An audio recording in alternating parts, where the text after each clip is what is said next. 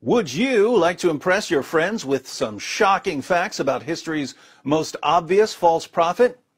If so, have I got a list for you.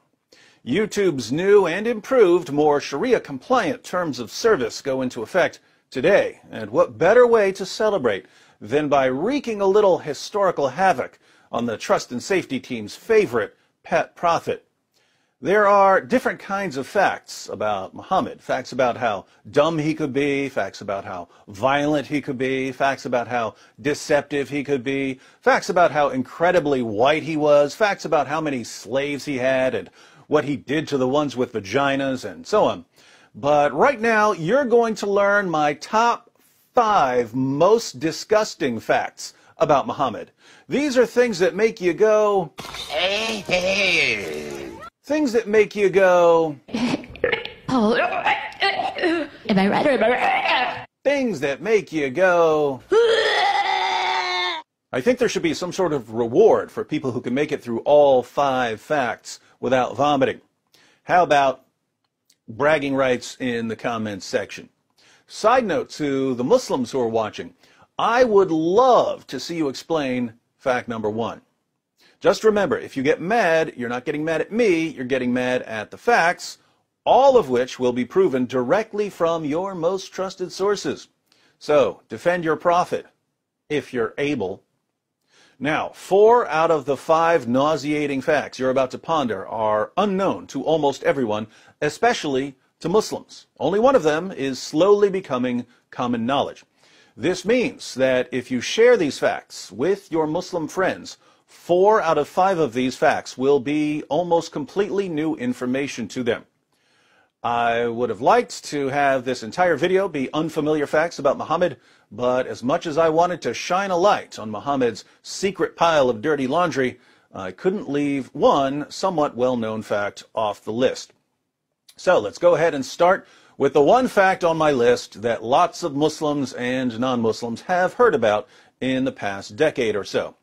The number five most disgusting fact about Muhammad is Muhammad had sex with a prepubescent nine-year-old girl. We've been through the passages on Muhammad's relationship with Aisha a hundred times, but just in case someone recently arrived here from the Andromeda Galaxy, let's read one. Sahih al-Bukhari, 5133. Narrated Aisha that the Prophet wrote the marriage contract with her when she was six years old, and he consummated his marriage when she was nine years old, and then she remained with him for nine years, i.e., till his death. The Muslim sources report that Aisha was playing on a swing when some women came to get her and take her to her husband. She was carrying her dolls as they led her to Muhammad's house, and we know how things must have unfolded once she got to his house. Clearly, he laid her down, took away her dolls, climbed on top of her, and forced his penis inside her. She didn't understand what was happening because no one bothered to tell her about sex. Frightened and confused, she cried because of the pain and bled all over her prophet's bed, but she tried to remain quiet out of respect for her new husband, who, in return, was endangering her life. Muhammad was more than 50 years old when he forced his penis inside his prepubescent nine-year-old child bride. But don't let that keep you from believing that he is, according to Surah 33, verse 21 of the Quran, a beautiful pattern of conduct. Glad we could get that one out of the way. Now for some fun. The number four most disgusting fact about Muhammad Muhammad encouraged his followers to suck on each other's fingers. Islam is the only religion I'm aware of that promotes finger sucking. Sahih al-Bukhari, 5456. Narrated Ibn Abbas. The Prophet said, When you eat, do not wipe your hands till you have licked it or had it licked by somebody else. Sahih Muslim, 5294. It was narrated that Ibn Abbas said, The Messenger of Allah said, When one of you eats some food, let him not wipe his hand until he has licked it or had it licked. Why did Muhammad want his followers to lick their fingers and to lick each other's fingers? He tells us, Sahih Muslim 5300. It was narrated from Jabir that the Prophet enjoined licking one's fingers and wiping the plate, and he said, You do not know in which part the blessing is. Muhammad goes through this in other passages. Long story short, Allah hides a blessing somewhere in your food, but you don't know where the blessing is hidden, so you should lick your fingers. If you want someone else to have the blessing, you tell him to lick your fingers you'll be doing him a favor. You definitely don't want to simply wipe your hands on a napkin because then the blessing will be on the napkin and Satan will steal it. Now, if you don't know much about how germs spread and why it's a bad idea to be sucking on other people's fingers, no worries. I promise you that by the time we get through fact number two and fact number one, you'll understand perfectly why you should never, ever suck on another man's fingers. But before that, we have the number three most disgusting fact about Muhammad. Muhammad swapped spit with little boys. In Bukhari's Al-Adab al Mufrad, 1183, we read, It is related that Abu Huraira said, I never saw Al-Hasan without my eyes overflowing with tears, that is because the Prophet, may Allah bless him and grant him peace, went out one day and I found him in the mosque. He took my hand and I went along with him. He did not speak to me until we reached the market of Banu Qaynuqa. He walked around it and looked. Then he left and I left with him until we reached the mosque. He sat down and wrapped himself in his garment. Then he said, Where is the little one? Call the little one to me.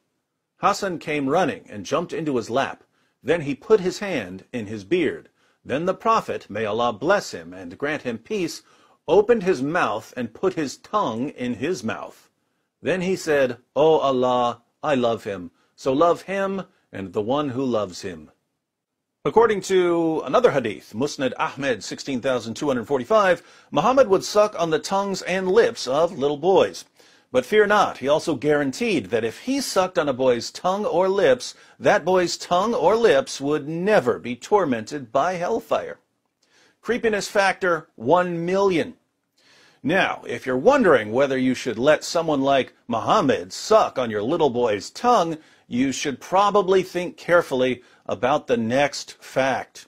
The number two most disgusting fact about Muhammad Muhammad would have sex with nine women and girls, but only take one bath. Sahih al-Bukhari, 5068. Narrated Anas, the Prophet used to go round, have sexual relations with all his wives in one night, and he had nine wives. Sahih al-Bukhari, 5215. Narrated Anas bin Malik, the Prophet used to pass by, have sexual relation with all his wives in one night, and at that time he had nine wives.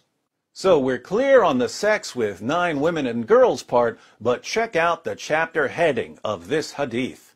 Whoever had sexual intercourse with all his wives and then took one bath only.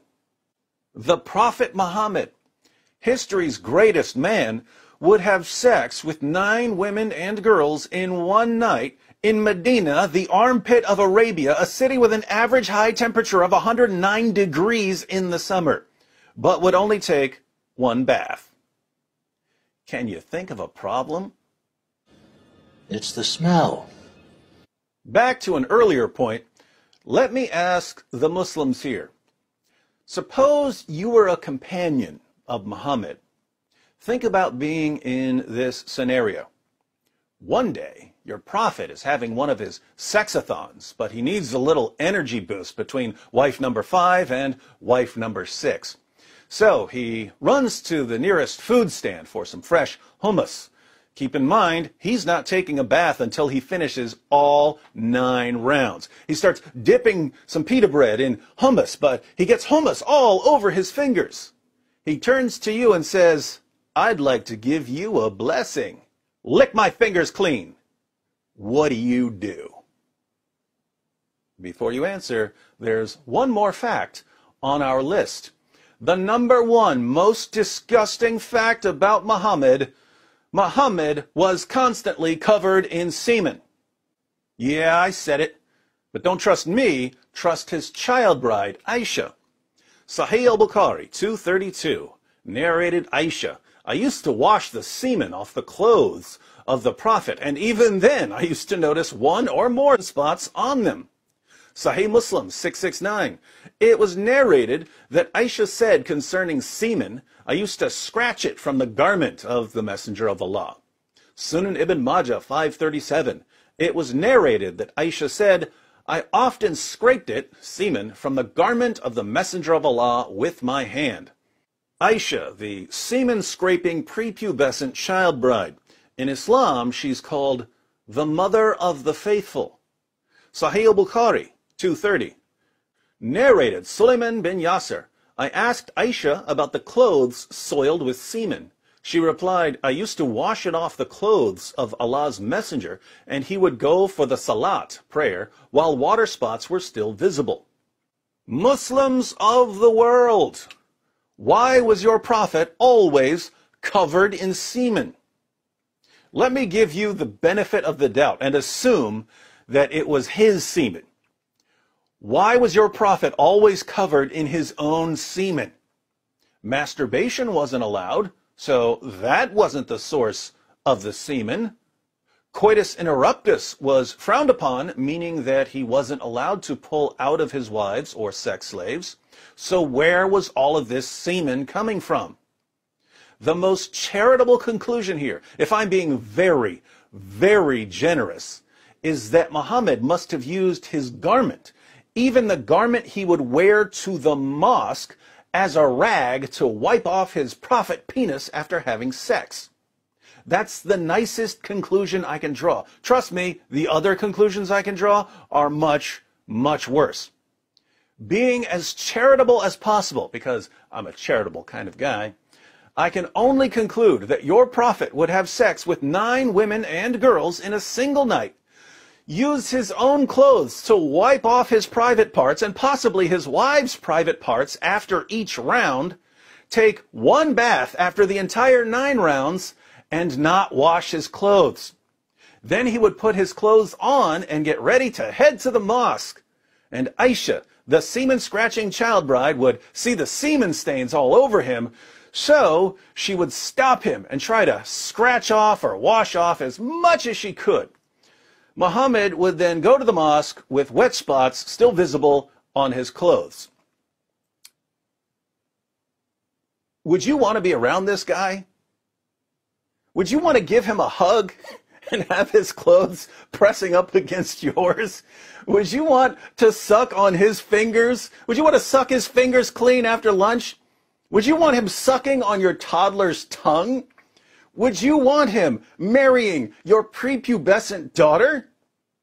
Have you ever met anyone in your entire life who was filthier and more disgusting than Prophet Muhammad?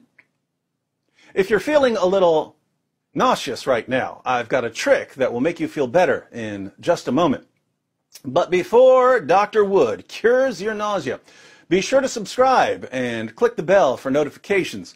I'm not on Facebook or Twitter, so please share this video on other platforms. As always, I'm not stingy with my content, so feel free to mirror my videos on your own channels. If you'd like another way to support the channel, you can click the join button to join the Boom Squad. There are other ways to support in the description box. In the comments, let me know if there are any other disgusting facts about Muhammad that I should have included on this list. If you're a Muslim, be sure to share with us how you reconcile your conviction that Muhammad is a wonderful moral example with the facts I've presented. Facts you're hearing for the first time because, let's face it, your imams don't tell you this stuff.